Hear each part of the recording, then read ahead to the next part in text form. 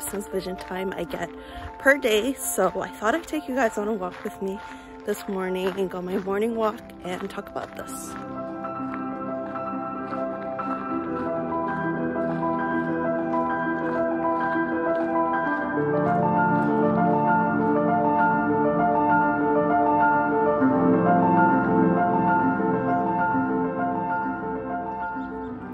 So how much outdoor distance vision time do I get per day? So I try, as a rule of thumb, I try to go for two hours a day minimum. So that might look like an hour walk in the morning, maybe an hour walk in the afternoon, and then I got two hours. Or it might look like 30 minutes in the morning, 30 minutes around lunch, and then an hour after work hours or after I've finished my work. That being said, I've noticed with my centimeter measurements that if I do two hours or more a day, and we're talking about good quality outdoor distance vision time, where I'm actually looking the distance or I'm doing an activity that involves distance vision, I end up getting a better centimeter measurement the next day in the morning after I've had good sleep. So that's what I've noticed. And so I really, really, really try to do two hours a day, two hours minimum a day. That being said, life happens and maybe I can't always do two hours minimum a day. For example, last month I was recovering from an injury and so I couldn't really walk and I couldn't really do anything else. And so I could just only walk for 20 minutes a day maximum. So at that time, I actually wasn't really able to go on long walks. I wasn't really able to have the amount of outdoor distance vision time that I wanted. Uh, so at that time, maybe I only had an hour a day or maybe 30 minutes if my situation was really bad. But I know, so I, I am aware of it. I know that if I get a lower centimeter measurement the next day, or I'm not improving as fast as I'd like to, I know that it's because I haven't been able to go outside, I haven't been able to get the amount of distance vision that I need.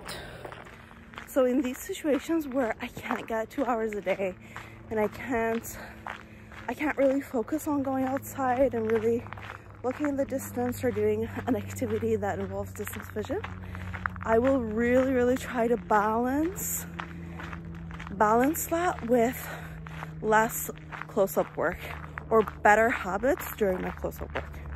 Because the last thing I want is me not being able to go outside and release ciliary spasm or me not be able to go outside and do enough active focus to, to give me that stimulus for my eyes to adjust to my current normalized. The last thing I want is me spending more time indoors and getting stuck in ciliary spasm or just kind of going backwards. So I really try to do that. I also want to say that this is not about being perfect. You can't be perfect. Some people can, and that is great. If you have a lifestyle that involves being outside all the time, that is fantastic. I wish I had that lifestyle. But a lot of us have close-up work, we have our work involves going inside, or maybe you live in a place where you just can't go outside all the time. Then in that situation, really trying to do your best is going to help you in the long run.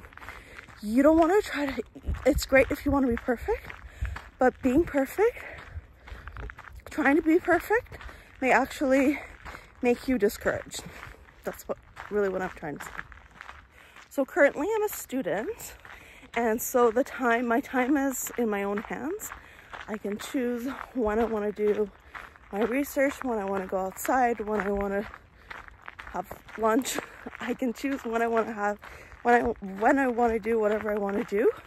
So I find that in my current situation right now, it's easier for me to find time to go outside a lot, spend a lot of time outside.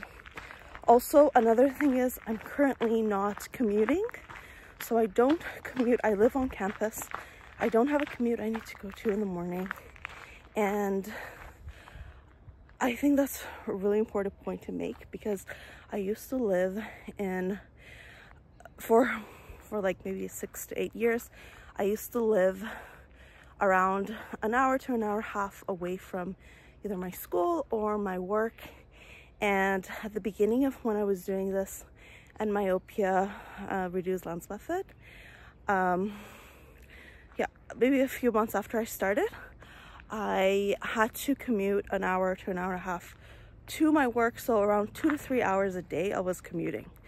So in that situation, I really tried to go 30 minutes in the morning just for a little walk.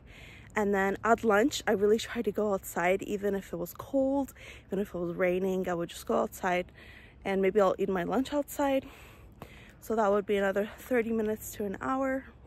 And then when I came back home, I tried to go at least for 30 minute walk or up to an hour. Uh, and another thing that I did when I was working was when I became, when it was the summer and I could take my bike to work, I would e-bike to work and then I would e-bike e-bike back and I found that that that was essentially my outdoor distance vision time, my commute to work. So I feel like that was really good for me. So the other thing I want to mention is that two hours minimum a day is the amount of outdoor time, outdoor distance vision time. With active focus, you are going to be doing, or I am doing active focus pretty much all the time. And that involves just when I'm indoors, looking at whatever distance that I'm looking at, trying to clear it up, or just around the house, really. So active focus is all the time. Once you get a hang of it, once you are familiar with what active focus is, you're doing that all the time. but the outdoor distance vision time, really minimum of two hours a day is what I try to aim for. So during these times when I have less than two hours a day, maybe I only have one hour or 30 minutes a day, I do find that I'm still improving because I'm addressing my close-up habits. I'm using my differential glasses for up-close work. So I'm still improving, but maybe at a slower rate. Um, also, the other thing that I notice is that when I'm not going outside that often and I'm not aware of it, for example, I don't have an injury and I know that, oh, I'm not going outside because I have an injury and I can't move. If I'm not going outside, what I what tends to happen is that I tend to do more close-up work. I tend to, I'm indoors more. I tend to feel less happy. I tend to maybe look at my phone a lot more. So I find that trying to do at least two hours a day for me has really helped me motivate me to improve my vision and really address my close-up habits as well. So that's what I wanted to point out. I hope you guys enjoyed this video and thanks so much for watching. I'm going to continue the rest of my walk. Bye.